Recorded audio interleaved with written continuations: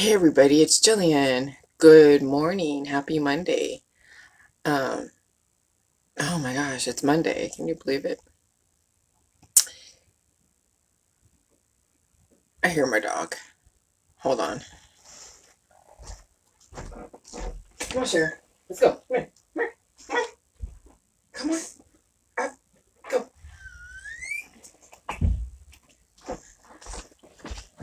I tried to get her to come in earlier before I started this, but she has her own mind, so I know as soon as she hears me speak, she starts trying to come in.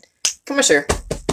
Anyways, so yesterday I was learning so much stuff. Like, I actually studied a lot of the DNA double helix acids, the DNA and the RNA, and it's interesting because a couple months back I read about it, but it just never really, you know, resonated or it just, I didn't feel the need to memorize the different, like, I didn't really know why I would want to know everything about the DNA. But then now I find some relevancy, okay? because we have so many people out there that are so malnourished and yeah, they're losing collagen, they're losing their DNA strength well, what is DNA strength? Well, first, everything is broken down to acids, like image. Okay, image is matter, gases, electrical impulses, acids, and DNA is an acid, and it's from the stars, from the viruses that are also made up of DNA and RNA, genetic material. And they are made up of in base pairs, which I didn't even realize. I mean, I did and I didn't. I never studied genetics, you know, in, in college or even in compulsory school.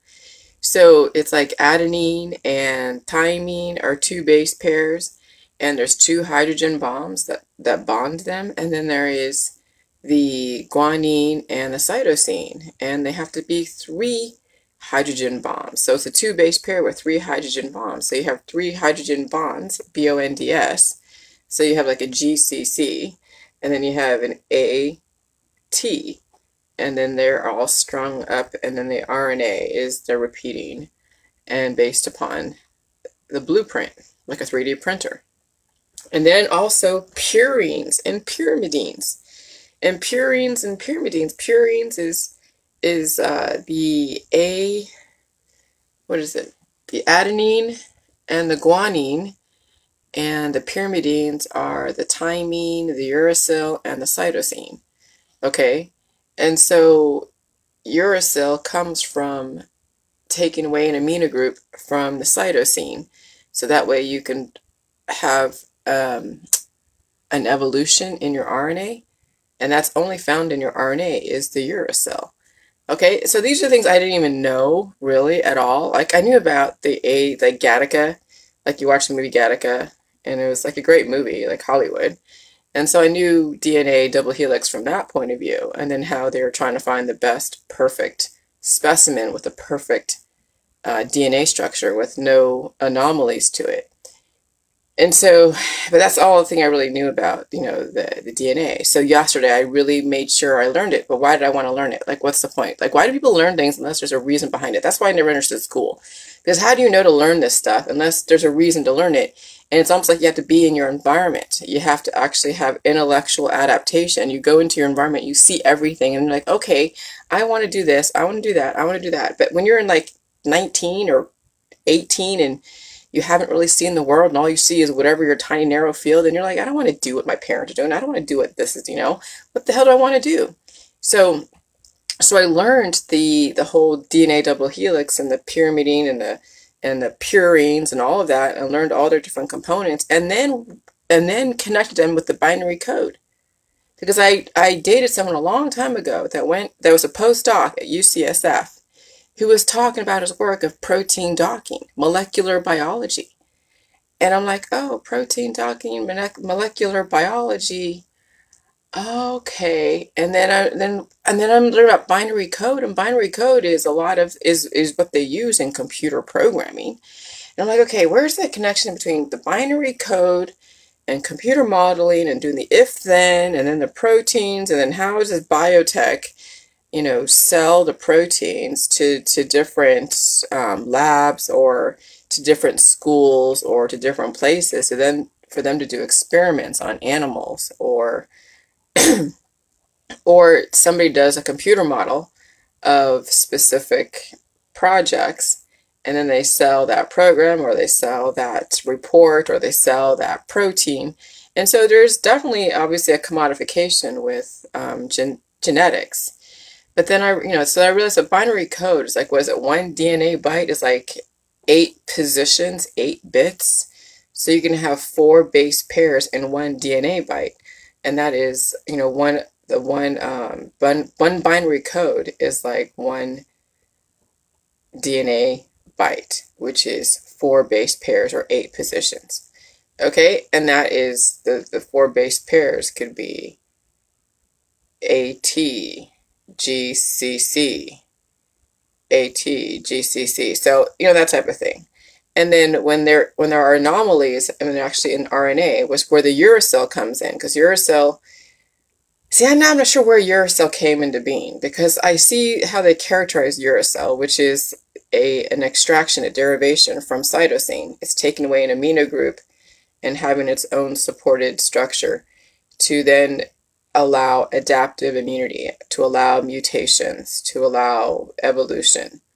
And it provides a relatively stable environment for that to happen. It's not resistant to the atmosphere because you don't want too much resistance to the atmosphere either because you want to be able to fluctuate with the atmosphere. So this is probably why this is probably why when people do get exposed to new viruses, the uracil, which allows the mutations to happen, then um, people feel the symptoms, and antibodies are then formed against that uracil, which is then leads to autoimmune disorders. But for you to be able to evolve, those autoimmune disorders can be reversed and finally smoothed out, and the body can adapt to the new environment.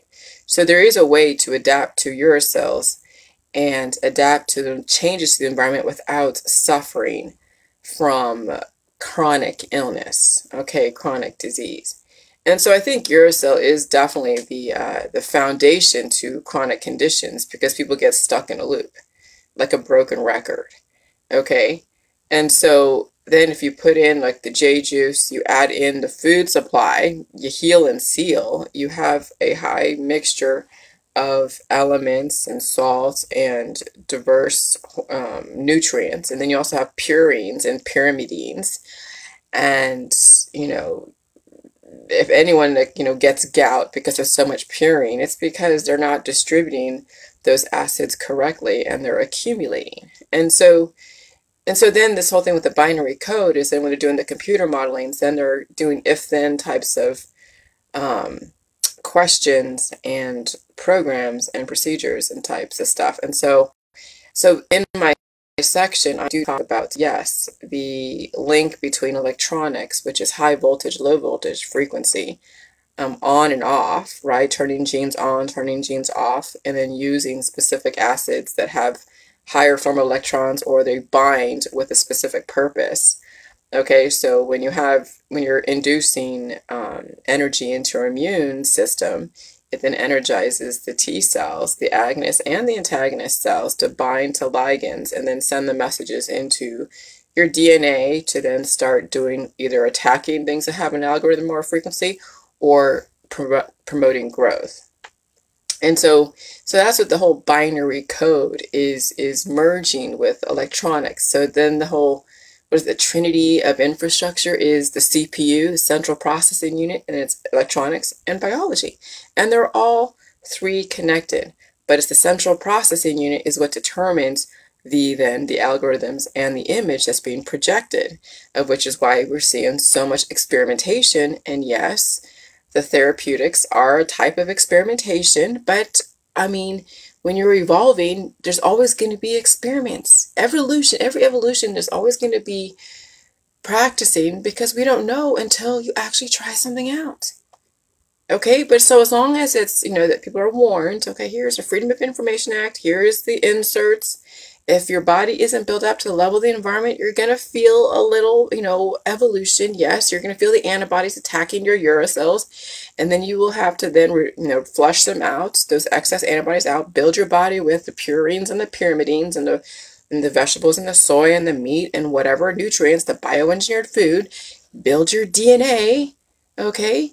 And then evolve. Now, are you going to grow wings? Well, I doubt it.